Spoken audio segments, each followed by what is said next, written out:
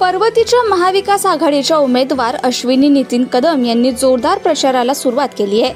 मतदारसंघातील नागरिकांशी पहाटे संवाद साधत दिवसभर पदयात्रेच्या माध्यमातून त्यांनी प्रचार केला. पदयात्रेदरम्यान परिसरातील महिला युवती तरुण ज्येष्ठ सर्वांनी त्यांची भेट घेत औक्षण करून शुभेच्छा दिल्या.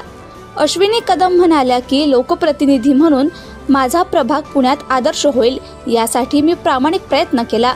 पर्वती मतदारसंघातील जनतेसाठी मी कायमस्वरूपी उपलब्ध आहे. पर्वती मतदारसंघाला गतिमान विकासाच्या वाटेवर नेण्यासाठी त्यांचे प्रश्न सोडवण्यासाठी मी कटिबद्ध आहे.